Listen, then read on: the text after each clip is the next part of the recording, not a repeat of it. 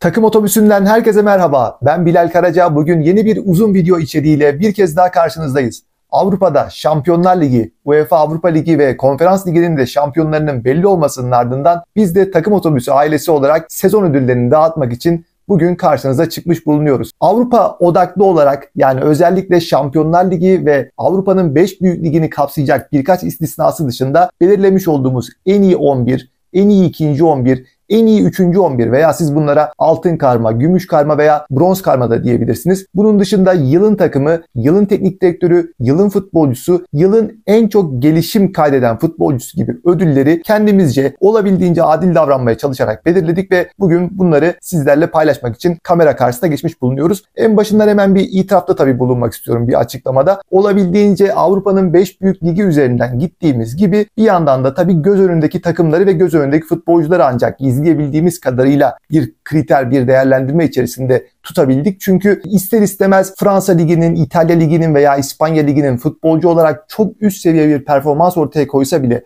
orta veya alt sıra takımında yer almış bir ismi kolay kolay takip etmek elbette mümkün değildi. Bu sebeple sizden ricamız da şudur. Bittikten sonra tamamını izleyip de ilk 11'leri gördükten sonra şu futbolcu da mutlaka olmalıydı. Bunu unutmuşsunuz, atlamışsınız derken tabii izlemediğimiz için, göremediğimiz için, değerlendirme yapabilecek kadar takip etmediğimiz için atladığımız futbolcuları da bizimle paylaşabilirsiniz. Şimdi ben çok da uzatmadan hızlıca başlayacağım. Kriterlerimiz zaten daha önceki içeriklerimizde de anlatmış olduğumuz şeyler üzerinden az çok fikir sahibi olanlar vardır. Takımı üzerindeki etkisi, istatistikleri, kazandığı kupalar ve tabii ki tüm bunların oluşturmuş olduğu bireysel performansıyla beraber futbolcuları belirlemiş olduğumuz kadroların içerisine yerleştirdik. 33 futbolcu seçtik. Yani en iyi 3. 11, en iyi 2. 11 ve en iyi 11 şeklinde. Açıklarken de şöyle açıklayacağım. Ben şimdi önüme tabii ki bir not kağıdı aldım. Çünkü 33 ismi birden aklımda tutmam elbette mümkün değildi. Paylaşırken de atlamamak adına buradan bakarak sizlerle paylaşacağım. Şöyle yapacağım. Kadroları kaleden forvete doğru sırasıyla mevki mevki sayarken bronz 11'e aldığımız oyuncuyu o mevki geldiği zaman önce sayacağım.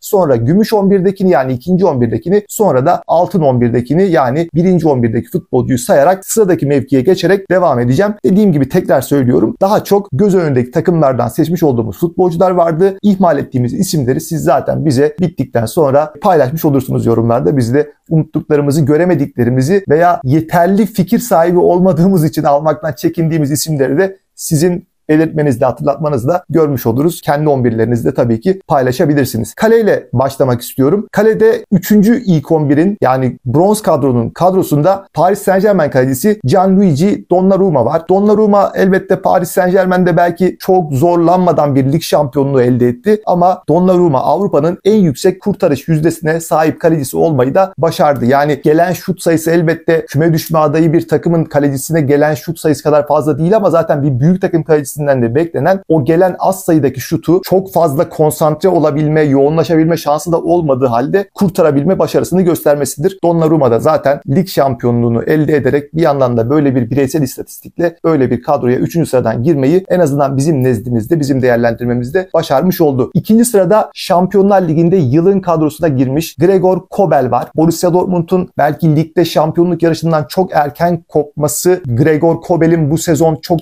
dikkat çeken bir figür olmasını biraz engelledi ama Şampiyonlar Ligi finalinde özellikle Borussia Dortmund'un Real Madrid karşısında belki daha büyük bir fark yemesinin önündeki en büyük engelli ki finale gelene kadar da takımın en önemli isimlerinden biriydi. UEFA'da onu zaten Şampiyonlar Ligi'nde yılın kadrosuna seçti. Bizde de Gregor Kobel sezonun en iyi ikinci 11'inde kendine yer buldu. Birinci sıradaysa Inter'in bu sezon Serie A'da haftalar öncesinden şampiyon olmasındaki en önemli pay sahiplerinden Jan Zomer var. O da Avrupa'nın en yüksek kurtarış yüzdesine sahip ikinci kalecisiydi Donnaruma'dan sonra. Biz de onu hem ligin en az gol yiyen kalecisi olması hem de Inter'de çok büyük bir farkla elde edilmiş olan şampiyonluktaki etkin rolünden dolayı ilk sıraya yazdık. Yani kalede Üçüncü takımın kadrosunda Donnarumma, ikinci takımın kadrosunda Kobel, birinci takımın kadrosunda da Jan Zomer var. Sağ bek mevkisine geçtiğimiz zaman Burada tabii yine alternatifler her zaman çok fazla. Her mevkide olduğu gibi ama yine daha çok göz önündeki isimlerden gittiğimizi bir kere daha hatırlatmış olayım. Üçüncü takımın ilk 11'inde Kyle Walker var. Kyle Walker zaten istikrar abidesi bir isim. Manchester City'ye geldikten sonra kazanmadık, kupada bırakmamış bir isim. Bu sezonda 47 maça çıktı yine. Yani Kyle Walker belki Şampiyonlar Ligi'nde yine Premier Lig'in yanına bir duble yapabilirdi ama Manchester City Real Madrid engeline takıldı hatırlayacağınız üzere penaltı atışlarıyla. Kyle Walker 47 maça çıktı. Kendi istikrarını korudu. Yine üzerine düşen savunma görevini büyük yıldızlara karşı gereken her maçta yaptı. Manchester City'nin son 5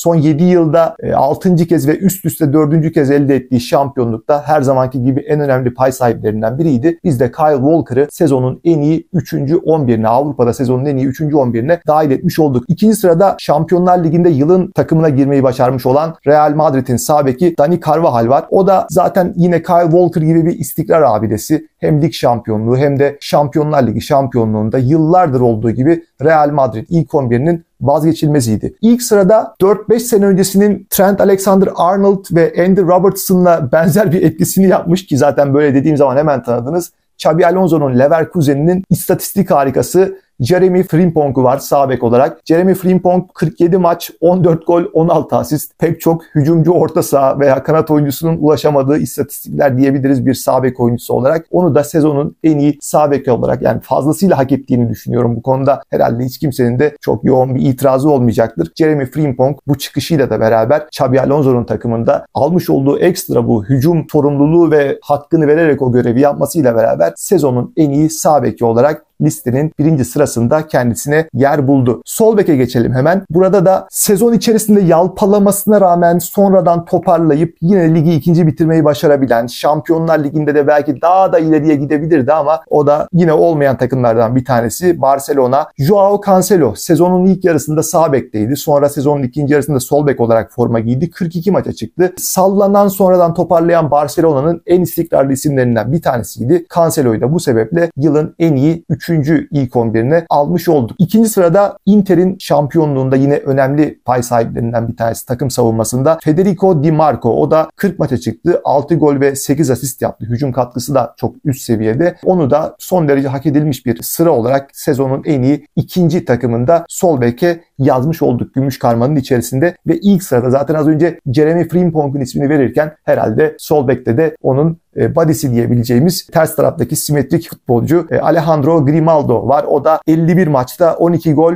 17 asist inanılmaz seviyeler. Yani hakikaten bunlar Andy Robertson, Trent Alexander-Arnold'un ulaşmış olduğu sayıların bile üzerinde sayılar belki. Muazzam rakam olarak bakmış olduğunuzda hani hiç kimsenin sağ bek sol bek olarak düşünemeyeceği sayılar. Sonra yani gerçekten inanılmaz hak etmiş iki oyuncu. Çok da tartışmaya gerek olmadığını düşünüyorum. Hem sağ bek hem de sol bek pozisyonlarındaki ilk isimleri yazarken. Yani burada hani bizim göz önündeki popüler takımlar ve ünlü futbolcular üzerinden değerlendirme yaptığımızı söylememize rağmen unuttuğumuz, gözden kaçırdığımız, pek fikir sahibi olamadığımız isimler de listeye dahil edildiğinde de yine en iyi sağ bek ve en iyi sol bek Jeremy Frimpong ve Alejandro Grimaldo olacaktır diye düşünüyoruz. Gelelim stoperlere. İki stoper belirledik. Dörtlü bir savunma hattı. Yani iki pozisyondan altı isim belirlemiş olduk. Şöyle yapıyorum. İki stoperden üçüncü takımlara girenleri önce açıklamış olayım. Yine bir Interli Alessandro Bastoni vardı. Serie A'nın zaten en az gol yiyen takım olduğunu söyledik Inter'in. O savunma hattından Bastoni'yi de üçüncü takımın ilk 11'indeki stoperlerden birisi olarak seçtik. Diğeri de Juventus Juventus'ta özellikle Juventus'un hakikaten yine aynı Barcelona gibi bir iyi bir kötü dönemlerinde takımın istikrarlı oyuncularından 40 maça çıkmış bir isim. Bremer'i de sezonun en iyi 3. kadrosunda Bastoni'nin yanına yazmış olduk. İkinci kadro bu sezon mükemmel başlayıp sezon ortasına kadar harika gelip 3 kupalı bir 4 kupalı hatta belki bir sezon mu geçirecek diye düşünürken sezon sonunda gerçekten çok kötü bir noktada bitiren ne UEFA Kupası'nı alabilen ne ligdeki son haftalarda şampiyonluk yarışının içerisinde kalabilen Liverpool'un Arnold'un, Robertson'ın, Konate'nin, Gomez'in, Kwanza'nın yani sürekli etrafındaki futbolcuların Bradley'nin değiştiği bir yerde düzenli olarak forma giyip savunmayı ayakta tutan Virgil van Dijk 48 maça çıktı bu sezon ve Liverpool savunmasını hakikaten ayakta tutan en önemli figürdü. O tabii ki 2019, 2018, 19, 20 dönemlerindeki seviyesinde elbette değil. Bunda hem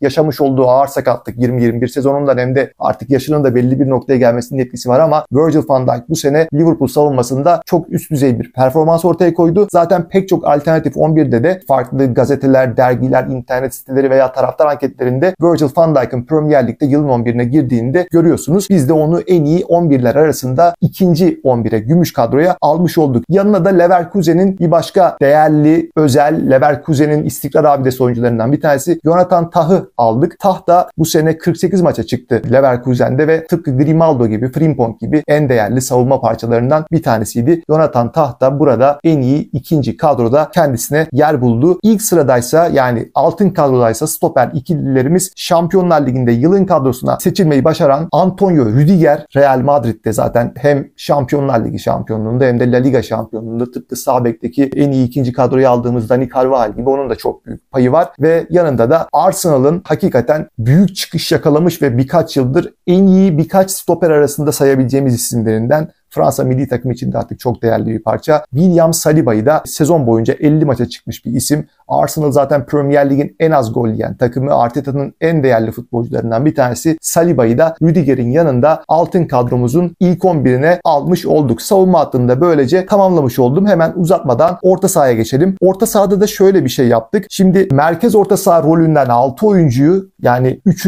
2. ve 1. kadrolara gelecek şekilde toplam 6 oyuncuyu ve aynı zamanda daha ofansif bir roldeki 10 numara diyebiliriz buna. Ofansif orta saha diyebiliriz. Nasıl tanımlamak isterseniz forvet arkası gibi de düşünebilirsiniz. Bir oyuncuyu da ayrı tutarak onları da yine 3. 2. ve 1. kadrolara serpiştirerek böylece de 3 futbolcuyu da oraya seçerek toplam 9 futbolcuyla orta saha hattını tamamlamış olduk. Merkez orta saha veya defansif orta saha gibi düşünebileceğiniz, ön libero gibi düşünebileceğiniz isimler arasında 3. sırada burada belki bir miktar torpil geçmiş olabiliriz. Hakan Çalhanoğlu'nu aldık. Yani torpil geçmiş derken şöyle demek istiyorum. Zaten e, Hakan'ı 3.'ye yazmasanız 5 beşinciye yazarsınız, altıncıya yazarsınız. Yani Hakan Çalhanoğlu bu sezonki oynadığı oyunla beraber böyle bir listede mutlaka adaylardan bir tanesi olmayı çoktan hak etti. Listeye girmekte de biz hani belki denk adayların içerisinde onu Türk kimliğinden dolayı alıp oraya yazmak istedik. Hak ettiğini de düşünüyoruz aynı zamanda. 40 maça çıktı. 15 gol, 3 asisti var. Tabii bu gol sayısında kullandığı penaltıların da etkisi var ama sezon içerisinde Inter'in ana top yönlendiricisi, merkezde topla buluşup Inter organizasyonlarını başlatan isim Hakan Çalhanoğlu. Bunu maçları izleyen herkes zaten net bir şekilde görebiliyor. Seri Serie bu kadar büyük puan farkıyla şampiyon olmuş bir takımın beyni konumundaki bir oyuncuyla tıpkı savunma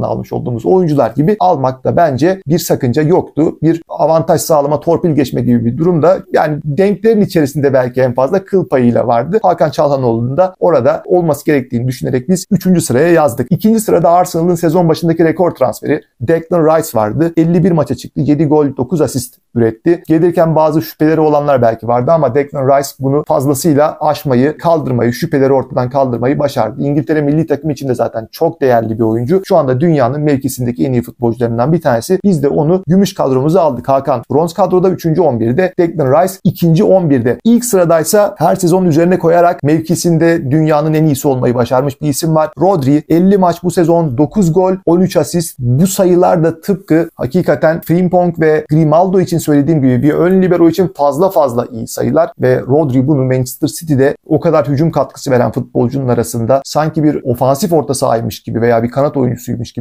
verebiliyor. Rodri böyle bir 11'de Manchester City Şampiyonlar Ligi'ni kazanamamış olsa bile ilk sırada olmayı fazlasıyla hak ediyor. Şimdi birazcık daha belki merkez orta saha rolüne daha yakın futbolcularla orta sahanın ikinci 3 kişilik grubunu yani yine gümüş, bronz, bronz, gümüş ve altın 11'ini sayarak devam ediyorum. Üçüncü sırada Barcelona'nın tıpkı Cancelo gibi sezon içerisindeki o istikrarsız halinde formunu koruyabilmiş en iyi isimlerinden bir tanesi olan İlkay Gündoğan var. İlkay bu sezon 51 maça çıktı. 5 gol ve 14 asist üretti İlkay. Takımın değerli parçalarından bir tanesiydi. Yaşına rağmen 34 yaşında olmasına rağmen Barcelona'yı ayakta tutan isimlerden bir tanesiydi İlkay ve bizce en iyi 3. 11'e girmeyi hak etmişti. İkinci sırada muhtemelen maç sayısı 45-50 civarında olsaydı Manchester City için bugün çok daha farklı şeyleri konuşabileceğimiz hatta ilk sıraya belki altın 11'e alabileceğimiz bir isim var. Benim, benim her zaman söylediğim gibi takımın en değerli partisi. Haaland'a da rağmen, Phil Foden'a da rağmen, Rodri'ye de rağmen, aklınıza gelebilecek bütün isimlere rağmen takımın en değerli parçası Kevin De Bruyne. O da bu sezon yalnızca 26 maça çıkmasına rağmen 6 gol ve 17 asist. Döndükten sonra City'nin oyununun ne hale geldiğini, nasıl yükseldiğini zaten maçları takip edenler gayet iyi biliyor. Maç sayısı bu seviyede kalmış olmasına rağmen döndükten sonra oluşturmuş olduğu büyük etkiyle Kevin De Bruyne'yi Manchester City'nin ana parçasında yokluğu en çok hissedilen oyuncusunu sezonun en iyi ikinci 11'ine yazmış olduk. Birinci sırada belki bir miktar duygusal davranmış olabiliriz. Listeyi yaparken özellikle çok romantik olmamaya, daha gerçekçi davranmaya çalıştık ama ilk sırada Real Madrid'de bu sezon artık futbola veda eden 34 yaşında Toni Kroos var. Sezon boyunca 48 maça çıktı. 1 gol ve 10 asist üretti Toni Kroos. Şampiyonlar Ligi finalinde çok iyi isimlerden bir tanesiydi. Bayern Münih maçında attırdığı gol, o ara pası ilk maçta maçı çözen isimlerden bir tanesiydi. Sezon içerisinde lazım olduğunda önemli maçlarda çıkıp üzerine düşeni fazlasıyla yerine getirdi. Ki maç sayısı da futbolu bırakmaya hazırlanan bir futbolcu için değerlendirdiğimiz zaman her ne kadar yaşı çok çok ileri olmasa bile son senesini oynayacağını söyleyen bir futbolcu için 48 maç gayet iyi ve bir de üzerine Şampiyonlar Ligi ve La Liga şampiyonluğu da eklenince Toni Kroos'u sezonun en iyi 11'inde altın karmaya yazmış olduk. Orta sahanın birazcık daha hücum ağırlıklı oyuncularının olmuş olduğu 3 kişilik ofansif orta saha pozisyonunda seçtiğimiz isimlere gelelim. Üçüncü sırada artık bir süperstar olduğunu konuşabileceğimiz, söyleyebileceğimiz o genç yıldız adayından artık takımı sürükleyebilen, takımın ana yıldızı olan bir isme doğru dönüşmüş Cemal Musiala'yı almış olduk Bayern Münih'te. Bu sezon 38 maç, 12 gol, 7 asist istatistikleri belki pozisyonuna göre çok çok üst düzeyde değil ama sezon içerisinde eski Bayern Münih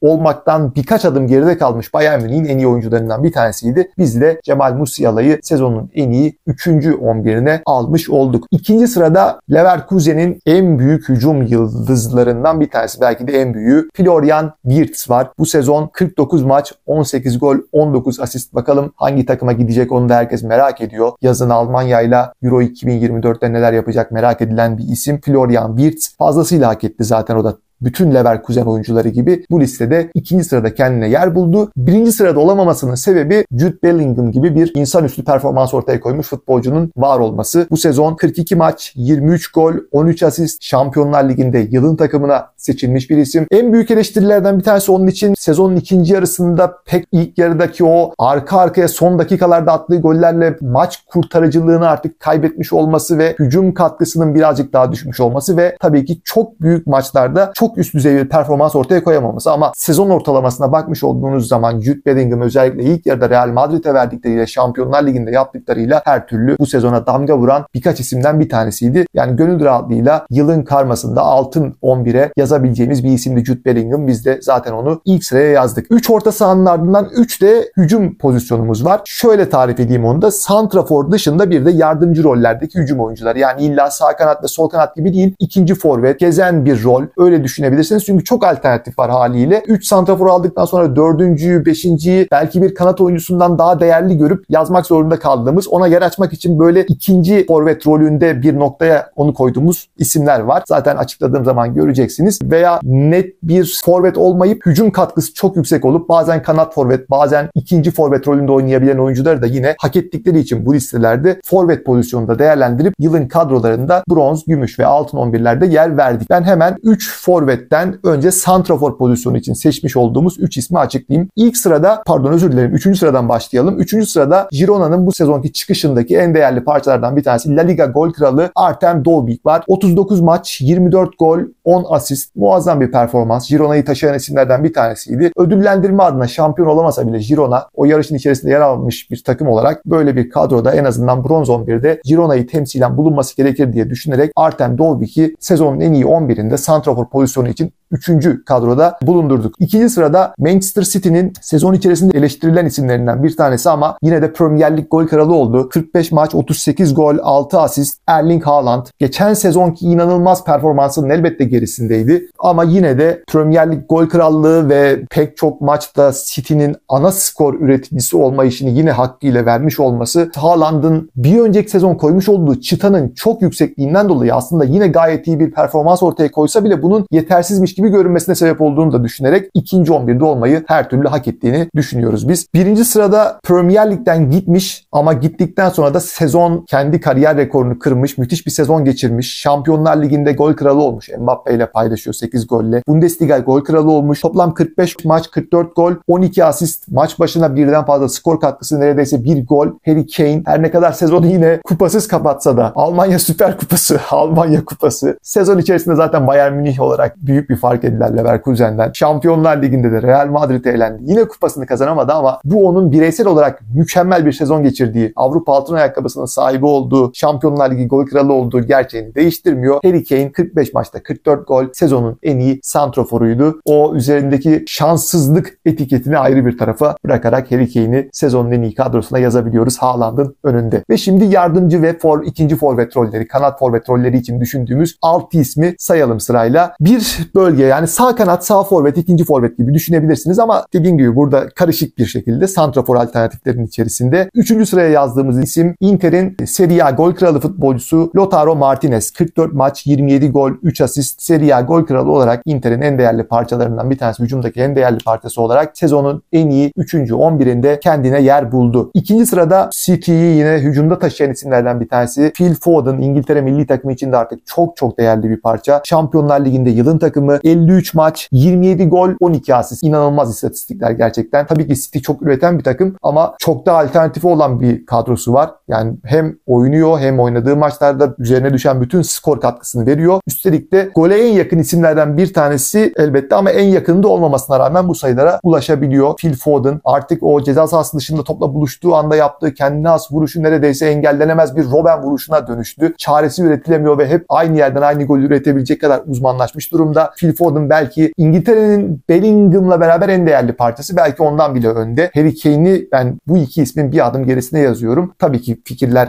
kişiden kişiye değişebilir. Ben kendi adıma burada konuştum. Ama Phil Foden'ın göstermiş olduğu bu büyük çıkışı son 2-3 senede gelmiş olduğu seviyeyi gerçekten İngiltere adına da dünya futbolu adına da çok özel bir yere koyuyorum. Ve haliyle bu kadroda da kendisi forvet bölgesinde ikinci kadroda kendisine yer bulmuş oldu. İlk sıradaysa altın kadrodaysa konfor alanını terk etmeyen ama buna rağmen de 6 sezondur liginde gol kralı olan, bu sene Şampiyonlar Ligi'nde de gol krallığı yaşamış olan, 48 maçta 44 gol 10, 10 asist yine aynı Harry Kane gibi neredeyse maç başına bir gol katkısı, maç başına birden fazla skor katkısı üretmiş olan olan Kylian Mbappe var. Yani Paris Saint Germain'den ayrılmamış ancak şimdi Real Madrid'e gelmiş olması ayrı bir tartışma olmakla beraber biz burada tıpkı Kane'in kupa kazanamamasına rağmen bireysel performansını ödüllendirdiğimiz gibi Kylian Mbappe'nin de zaten Fransa Ligi'nde klasik artık o şampiyonluğun çok da tekrar edilmesinin, söylenmesinin pek bir anlamı yok ama bireysel olarak ortaya koyduklarıyla yine Paris Saint Germain'in uzak ara farklı en değerli parçası dünyanın yine bana göre en kıymetli, en formda forvet oyuncusu, iyiyken potansiyeli en yüksek oyuncusu diyebilirim en azından. Belki en formda o kadar doğru bir tabir olmayabilir ama en iyi hali en üst seviyede olan forvet oyuncusu, hücum oyuncusu Kylian Mbappe. Onu da sezonun en iyi kadrosunda altın 11'e yazmış olduk. Diğer forvet bölgesi içinde yani ikinci forvet bölgesi için, kanat forvet bölgesi için diğer alternatif pozisyonda da üçüncü sırada aslında santrafor olan bir isim ama dediğim gibi bu listede mutlaka bu kadroda yer almasını gerektiğini düşündüğümüz için aldığımız bir isim. Victor Gyökeres, Sporting'in bu sezonki şampiyonluğundaki hücum yükünü çeken isim. Portekiz Ligi gol kralı. 50 maç, 43 gol, 14'te asisti var. İnanılmaz sayılar gerçekten. Bunlar şey gibi aynı Luis Suarez'in Ajax'taki 2010-2011 sezonu istatistikleri gibi yani neredeyse ya da Hunteler'in daha önce Herenven Ajax istatistikleri gibi Portekiz Ligi'nde ulaşılmış muazzam sayılar. O da haliyle böyle bir listede mutlaka kendine yer almayı hak ettiği için onu da bronz 11'imizi Avrupa'da yılın bronz 11'ini almış olduk. Gümüş 11'imizde, ikinci 11'imizde bu sene Chelsea'yi izleme sebebi diyebileceğimiz bir isim. Cole Palmer. 45 maç, 25 gol, 15 asist. Neredeyse maç başına bir skor katkısı. Üstelik de bunu Chelsea gibi sezonun en yalpalayan büyük takımında yaptı. Yani orta sıra takımına neredeyse dönüşmüş bir takımda bu sayılara ulaşabilmek. Premier Lig gol krallığında Erling Haaland'la yarışabilmek ve hakikaten az önce de söylediğim gibi Chelsea'yi bir insan izlerken bari açayım da Palmer ne yapacak diye bakayım dedirtecek noktaya getirip hani Chelsea değil Palmer'ı izlemek için insanları ekran başına çekebilecek kadar böylesine büyük bir takımda ana aktör olabilmeyi başarmış bir isim. Üstelik de daha ilk senesinde bunları başarmış bir isim. Cole Palmer'ı aldık ve gümüş kadromuzda alternatif forvet, ikinci forvet, kanat forvet ne derseniz o pozisyona yazmış olduk. İlk sırada da tabii sol kanat, sol forvet ne derseniz Vinicius Junior. Şampiyonlar Ligi'nde yılın takımı 39 maç, 24 gol, 9 asist. Sezonun en büyük yıldızlarından bir tanesi. Şampiyonlar Ligi'nde önemli maçlarda ağırlığını koyup maçları çeviren, kazandıran bir isim. La Liga'da zaten artık bir klasik gerçi geçen sezon olamadılar ama kadro farkından kaynaklı olarak son birkaç senede dominasyona doğru gitmeye başlayan Real Madrid'in de şampiyonluğundaki en büyük birkaç isimden bir tanesi Vinicius Junior'ı da sezonun en iyi 11'inde altın kadroya almış olduk. Ben şimdi 33 ismi birden tabii ki teker teker saymayacağım. Zaman zaman kadro ekrana geldiği için siz oradan zaten takip ediyorsunuz isimleri. Teker teker saymayacağım ama sadece altın kadroyu bir kere daha okuyarak sezonun bireysel ödüllerine ben geçmiş olayım. Altın kadronun kalesinde Jan Zomer var. Sağ bekinde Jeremy Frimpong, sol bekinde Alejandro Grimaldo, stoperlerinde William Saliba, Antonio Rüdiger, orta sahada Rodri, Toni Kroos, Jude Bellingham, forvette de Harry Kane, Kylian Mbappe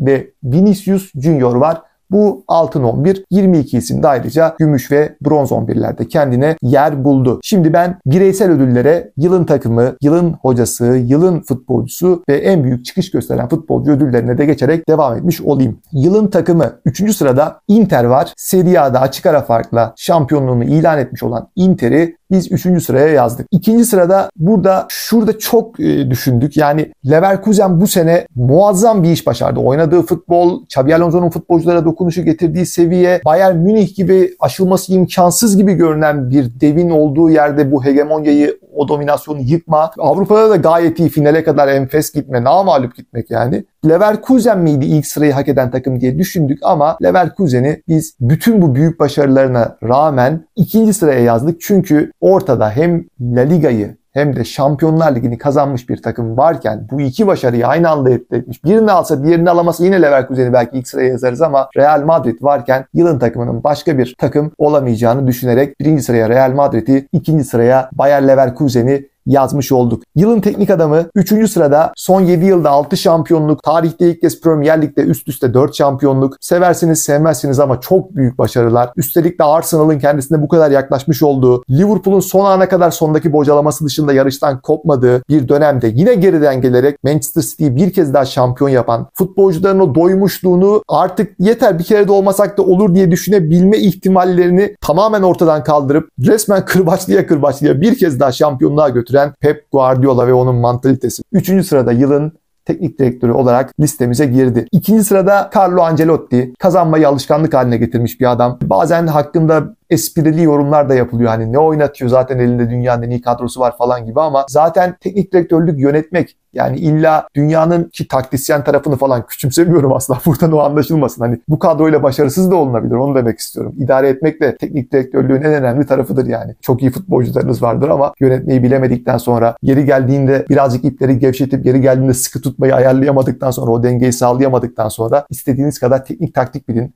dünyanın en geliştirici beden eğitimi öğretmeni oldum fark etmez. Bunları yönetebilmek çok daha büyük bir sanat. Carlo Ancelotti yönetmenin en iyisi diyebiliriz en iyilerinden bir tanesi olduğu kesin de bence en iyisi. İkinci sırada sezonun en iyi teknik adamı olarak Carlo Ancelotti'yi yazmış olduk. İlk sırada da az önce takım olarak hakkını veremediğimiz ama hoca olarak zaten dünya devlerini peşine taktı. Yani sezon ortasında Liverpool'a mı, Bayern Münih'e mi, Real Madrid'e mi gidecek diye konuşulmaya başlanan, konsantrasyonunu hiç kaybetmeyen, müthiş bir takım oluşturan Leverkusen'i en fazla Şampiyonlar Ligi'nde kontenjan elde etme hedefiyle oynayabilen bir takım olabilecekken alıp haftalar öncesinden, 3 hafta, 2 hafta öncesinden Bundesliga şampiyonu yapan Xabi Alonso'yu sezonun teknik direktörü seçtik ve herhalde herkes bu konuda hemfikirdir diye düşünüyoruz Xabi Alonso'nun yılın teknik adamı seçilmesinde. Ve bireysel ödüllere gelelim. Yılın futbolcusu adayları. Üçüncü sıra. Üçüncü sırada yani altın ayakkabı, Şampiyonlar Ligi gol krallığı, Bundesliga gol krallığı, bireysel olarak kariyerinin en iyi sezonunu geçirmiş olan bu açıklamaları yapmak zorundayım çünkü ama kupasız kapattı diyebilirsiniz ama bireysel olarak daha iyisi nasıl yapılabilirdi? Harry Kane'i yazmış olduk. Yılın futbolcusu ödülünde Avrupa'da 3. sırada Harry Kane Kane var. İkinci sırada Jude Bellingham var. Muazzam bir çıkış. Yani Real Madrid forması bir sene içerisinde bir futbolcuya bu kadar yakışabilirdi. Cuk oturdu. Pozisyonunun hakkını fazlasıyla verdi. İlk yarıda Real Madrid'in en iyisiydi. Takımı taşıyan isimdi. Jude Bellingham'ı da hem Şampiyonlar Ligi'nde yaptıkları hem de